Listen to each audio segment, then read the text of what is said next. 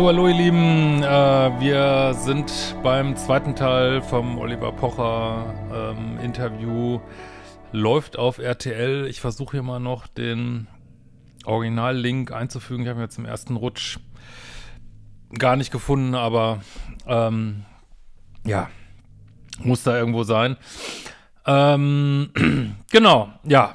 Ähm, morgen kommt dann auch wieder normale äh, normales Thema hier, aber es scheint ja auch so viel zu interessieren hier. Äh, habt ja meinen mein YouTube-Kanal zum Brennen gebracht hier. Ähm, ja, gehen wir mal rein, würde ich sagen. Das ist doch alles so beschissen gewesen. Jetzt ist er doch so, wie es ist. Jetzt kann sie doch irgendwie jeden ah, das nicht ganz an Elfmeter so jetzt liegen. und äh, den werde ich verwandeln. Ich gehe jetzt auf Tour und ähm, auch online und so habe ich einiges zu erzählen und ähm, das mache ich. Mhm. Das ist deine professionelle Art, damit umzugehen. Ähm, die, die private Art ist die, dass du im Moment welche Absprachen. Ja, man weiß natürlich jetzt, dass er da viele Witze drüber machen wird und oh, das wird bestimmt nicht leicht. Äh, für die Amira muss man jetzt auch sagen, er wird das natürlich ausschlachten. Ähm, vermute ich mal, vor allem solange er noch so wütend ist. Ähm, ja, das ist vielleicht auch nicht so schön. Machen mit deiner Noch-Frau triffst, wie, wie regelt ihr die Kinder? Ja, äh, wie, wie, wie, schreibt ihr WhatsApps? Sprecht ja, ihr miteinander? ja, wir versuchen uns da miteinander Kontakt zu haben, soweit das möglich ist. Ähm, ich bin da sehr äh, professionell und abgeklärt. Frauen sind da meistens komischerweise emotionaler. Äh, was ich nicht nachvollziehen kann, weil ich meine, sie hat doch alles, sie wollte doch die Beziehung beenden, es ist doch alles so beschissen gewesen, jetzt ist er doch so, wie es ist, jetzt kann sie doch irgendwie jeden Tag irgendwie sich einen glücklichen Spruch morgens anhören, also wunderbar, warum soll ich das? Mein, mein Humor, also ich finde den ja echt irgendwie auch wirklich witzig, ich finde den eigentlich sonst auch nicht so witzig, aber das ist echt, ähm, naja, das finde ich auch ein bisschen äh, Galgenhumor. Ja, aber da kann ich ihn auch äh, fühlen. Das ist tatsächlich so, wenn man das kenne ich teilweise auch. Äh, man äh, hat das Gefühl, der andere hat die Beziehung zerstört und äh, anstatt dass er dann nett ist, ist er obendrein noch sauer und gnastig und will dann noch, äh, macht dann das Leben noch äh, schwer obendrein. Das scheint, äh, scheint er hier so wahrzunehmen. Das ist natürlich, boah, das ist richtig, das fuckt einen richtig ab, ne? Der Doofe sein. Also red doch nochmal mit mir. Aber es wird eine gewisse Wut auf mich kanalisiert, für die ich. Die ja, wie gesagt, ich kenne der Beziehung nicht. Ich kann nur sagen, dass es in vielen, auch gerade schwierigen Beziehungen, äh, dass häufig äh, Klienten sagen, ne, dass sie sagen, ja, also ich meine, ich habe, war ja eigentlich der Nettere in der Beziehung. Ob das jetzt hier so ist, weiß ich nicht. Ähm, und das geht dann irgendwo auseinander und äh, dann kriegt man noch, obwohl, wie gesagt, der Ex vielleicht die Beziehung zu Fall gebracht hat, kriegt man noch äh, Wut ab obendrein. Also gerade vielleicht auch manchmal, wenn man selber die Beziehung beendet hat, weil es einfach nicht mehr zu ertragen war, ähm, kriegt man auch die Wut ab, dass man äh, diese Grenzen gesetzt hat, ne? Also vielleicht auch gesunde Grenzen und wird dann äh, dafür auch noch fertig gemacht. Naja. Aber wie gesagt, so viel, so viel Einblick haben wir natürlich nicht in der Beziehung. Aber klar, wenn man jetzt denkt, was er ja denkt, äh, sie ist äh, irgendwie fremdgegangen oder hat gelogen. Und dann denkt man vielleicht, naja, jetzt kannst du ja wenigstens noch besonders nett verhalten in der Trennung. Scheint äh, nicht so zu laufen und wirkt, ja, wirft natürlich auch so nicht so ein schönes Licht auf deren Beziehung irgendwie. Ich nicht nachvollziehen kann. Ich kann mich rund um die Kinder sehr professionell. Gibt ja so einen äh, Spruch, ähm, wenn die Trennung äh, total konstruktiv und lieb verläuft, äh, dann hast du dich von der falschen Frau getrennt. ja, aber das scheint ja nicht der Fall zu sein. Äh, Verhalten, das habe ich auch immer so gemacht, auch bei meinen anderen Kindern. Äh, ich werde da nie ein negatives Wort ähm, im Rahmen der Kinder oder um die Kinder herum verlieren. Darüber hinaus kann ich für nichts garantieren. Hm. Der glückliche Spruch.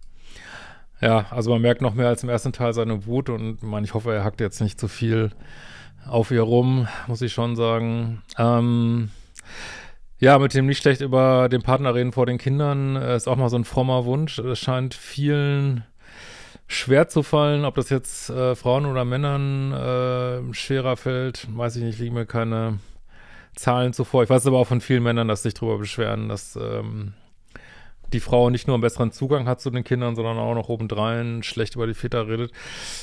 Aber wie gesagt, dafür mir Zahlen. Jeden zu. Morgen bezieht sich auf den Mann, mit dem sie angeblich was hat? Den Mann hat sie kennengelernt auf einem Flug, hat sie im Podcast erzählt, auf einem Flug nach Bali. Ähm, ja. Hat ihn dann eingeladen und die beiden reden ja auch ganz äh, fröhlich miteinander.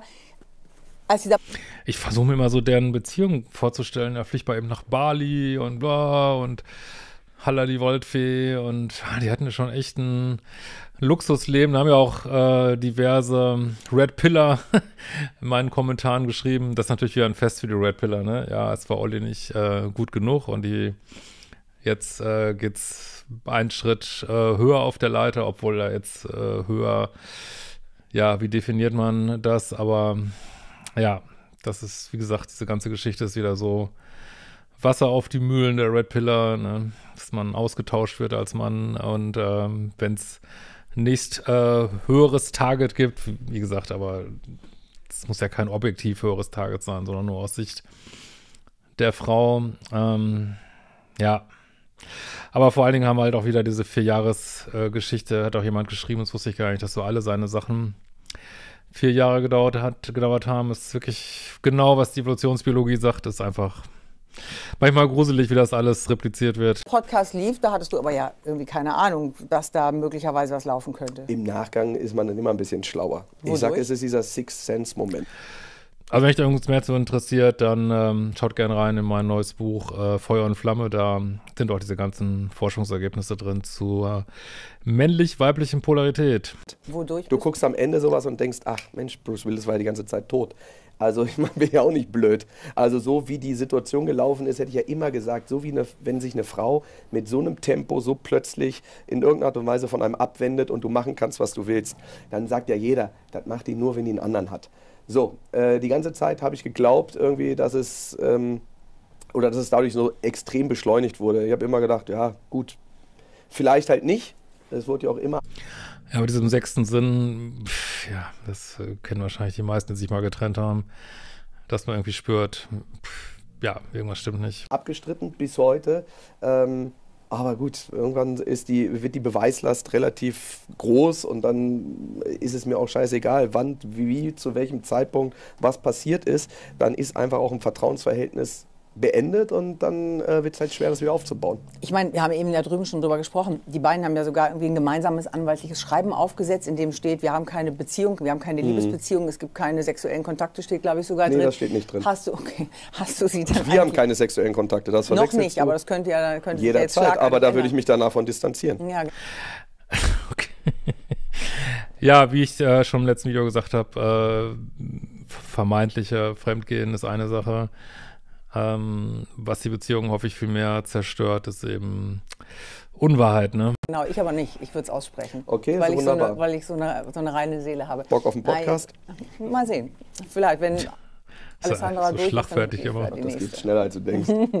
also, ähm, meine Frage war aber, Hast du sie eigentlich jemals selber danach gefragt? Du hast also gesagt, du hast ich bin ja nicht blöd. Also diese Fragen, die kann ich nicht nachvollziehen. Er redet doch mal und warum habt ihr nicht geredet? Ja, das werden sie wohl gemacht haben. Also, Klar ja. fragt man ja, danach. blöd. Ich meine, ja, ja, aber natürlich fragt man. Ist da was? Gibt es da jemanden? Sag es. Wird ja immer verneint. So, aber wenn man nun eigentlich eine Beziehung hat, die ja eigentlich auch auf Vertrauen basieren sollte, das war das Erste, was ich gedacht habe. Warum, also was führt dazu, ihr nicht zu glauben? Ja, äh, irgendwann wird ja eine Beweislast immer größer ähm, und eine Situation, äh, wie sie einfach äh, stattgefunden hat. Und letztendlich ähm, ist eine Situation dann so eskaliert. Äh, also ich meine, es gab ja die Aufzeichnung rund um Wer wird Millionär, wo wir noch beim Promi-Special gewesen sind. Äh, und am Wochenende habe ich eine Anfrage gehabt, hier für eine RTL-Show ähm, eine Reise nach Sri Lanka zu machen, für die Geo-Show, wo ich gefragt habe, ob man das irgendwie äh, äh, verschieben kann oder ob das so wichtig ist, weil ich wusste, dass sie irgendwie nach Österreich fliegt. Naja, gut. Und sie war ja vorher schon bei ihm da in, dem, in, dem, in, dem, in, dem, in diesem Podcast und diesem YouTube-Ding und sowas halt. Und dann guckst du dir einfach einen Tourplan an und siehst irgendwie freitags Wien, samstags Wien, äh, äh Graz, sonntags Wien. Und irgendwann denkst du dir, alles klar, also mich mal verarschen muss ich mich ja dann selber auch nicht. Ja gut, das ist, was ich auch mal sage in meinen Videos und meinen Klienten. Äh, schlechtes Bauchgefühl reicht eigentlich schon. Man braucht keine Beweise und das sind natürlich jetzt auch, ähm, soll ich mal sagen, juristisch keine Beweise, das können natürlich Zufälle sein, aber äh, ja, würde ich genauso sehen, wenn sich solche Sachen so häufen, dann ähm, ja, zählt man eben eins und eins zusammen und ähm, denkt sich seins dabei. Es wird ja auch nicht das Einzige gewesen sein. Naja. Und du wusstest, dass sie genau immer dann in diesen Städten ist?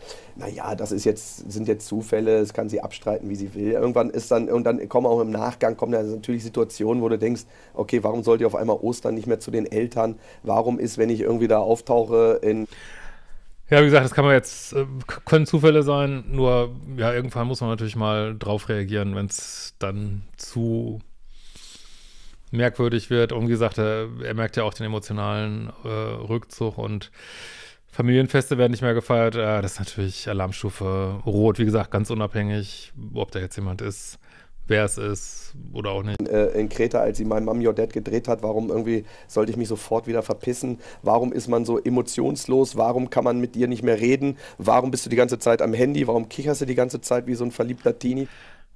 Ist leider nicht, also, was hier abläuft, ist leider totaler Normablauf in so Messi-Beziehungen, wo es eventuell äh, Fremdflirten, Fremdgehen, whatever gibt. Äh, das Handy, was gesperrt wird, das Handy, was immer in der Hand ist, das Handy, das immer mit auf der Toilette ist, äh, genau, das dümmliche Grinsen, Kichern. Äh, also leider das gleiche Schicksal, aber ist ja auch nicht weiter verwunderlich wie jede Feld-, Wald- und Wiesen. Irgendwann gibt es Antworten. Und das reicht mir auch. Wann, wie, wo. Ich habe jetzt kein Video mit Bewegbildern. Also wenn es einer hat, kann mir gerne eine Direktnachricht schicken. Gucke ich mir gerne nochmal an.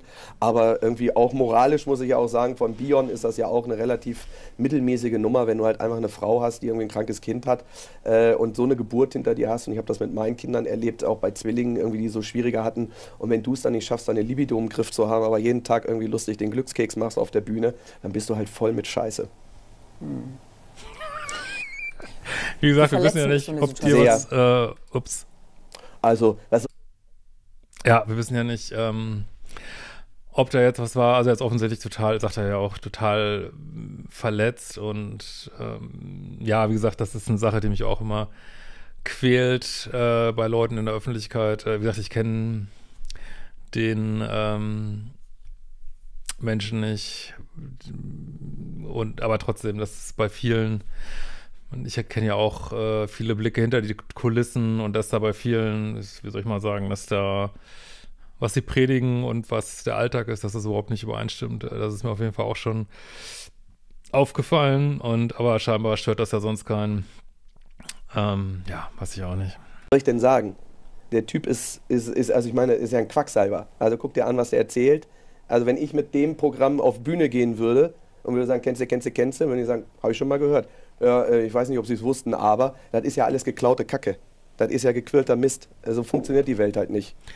Ja gut, aber so ist Unterhaltung normal. Ne? Das ist, keiner erfindet das Rad neu. Ähm, er denkt sich seine Gags auch nicht selber aus. Äh, viele vermute ich mal, wenn er eine Show hat. Ähm, klar, er ist jetzt verletzt. Aber gut, bringt natürlich auch nicht viel, da jetzt noch so nachzutreten. Er muss ihn ja nicht mögen, überhaupt nicht. Aber ja, Gott, er hat eine Show, die Leute kaufen das, äh, es gefällt ihnen scheinbar, ja, ist halt wie es ist, ne? Also jemand, der halt sagt irgendwie, hast du diese negativen Nachrichten? Schau einfach keine Nachrichten mehr. Wow, das ist genauso, wenn du Schulden hast. Mach einfach den Briefkasten nicht mehr. Ja, aber das ist genau meine Kritik an vielen äh, spirituellen Sachen, die sind halt teilweise wirklich so dümmlich und, und flach und ja, weiß ich nicht, wenn du irgendwas Blödes passiert, ja, das hast du selber manifestiert, du Blödi.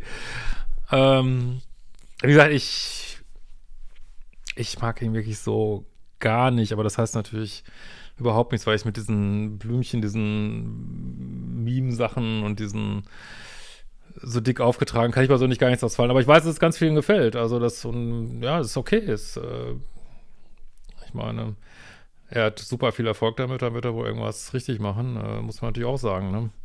Auf. Dann sind zwar im Moment die Schulden weg, aber das macht die Nachrichten auch nicht besser. Das ist halt so, so ein unfassbarer Bullshit, aber es gibt ja halt äh, eine gewisse Form von Menschen, die es anspricht, die dann meinen, durch sowas Seelenheit zu finden.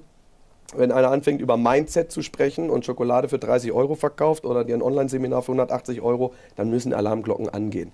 Dass das Amira nicht erkannt hat, tut mir leid, aber jetzt muss man das einfach mal öffentlich erwähnen und das ist ja ein Betrüger. Ja, das, also das, das finde ich echt zu viel, muss ich echt sagen. Also weiß nicht, wenn den Leuten das hilft, was er da anbietet, dann ist das auch, ähm, wenn denen das gut tut, dann ist doch alles wunderbar irgendwie. Ich meine, fuck, äh, predigt keine, weiß ich nicht, dass die Leute Glücksspiel machen sollen oder was es noch so alles gibt. Also insofern muss man die Kirche auch mal im Dorf lassen. Muss einem ja nicht gefallen, aber ich meine, weiß jetzt zu sagen, er ist ein Betrüger, also das, also ich finde, da hat er sich jetzt echt gerade überhaupt nicht im Griff und das finde ich überhaupt nicht gut. Das muss ich ganz ehrlich sagen. Das, das geht echt zu weit. Ne? Und dass der immer vor die Kamera wollte, ist ja auch klar. Wir haben ja das Archiv ja voll. Also wer so irgendwie bei DSDS rumläuft und dann irgendwann mal sagt, ich glaube mit der kleineren Nase und den Haaren, die ein bisschen besser nochmal verpflanzt sind, kann ich noch besser ankommen. Wunderbar, go for it. Okay, das habe ich jetzt nicht verstanden. Wer weiß, was er damit meint, weiter mal bei DSDS, ähm, gerne mal in die Kommentare schreiben. Da aber gut, äh, das Ganze hat auf jeden Fall Geschmäckle irgendwie und weiß ich nicht, wenn Leute zu sehr in die Öffentlichkeit wollen manchmal. Aber gut, ich, ich will da jetzt auch nicht drüber urteilen. Das, was ich immer wieder interessant finde, ist, es letzt, letzten Endes gehen Promi-Ehen nicht groß anders auseinander als normale Ehen. Man kriegt das oft einfach nicht gut hin. Er hat natürlich mehr Möglichkeiten nachzutreten, aber ich glaube, er sollte sich da irgendwann mal wieder reinholen. Ähm, ich meine, die müssen immer noch zusammen als Eltern funktionieren und ähm, da muss man, also sie natürlich auch, muss man irgendwann über seine Wut mal rüber und dass das Leben mal weitergeht. Ähm, weil man kann auch nach einer Trennung noch echt total viel kaputt machen, das sollte er vielleicht bedenken. Ähm. Ja, was denkt ihr dazu? Äh, wenn ihr meine Arbeit noch nicht kennt, kommen ja gerade so viele neue Abonnenten. Guckt gerne mal auf liebeschip.de vorbei. Ganz viel Material rund um Dating, Beziehung und Liebe. Oder schaut in eins von meinen vier Büchern rein. Und wir sehen uns bald wieder. Und lasst mir gerne ein Abo da. Das ist immer eine schöne Wertschätzung. Oder auch einen Daumen hoch oder meinetwegen auch einen Daumen runter. Hilft alles meinem Kanal. Vielen Dank.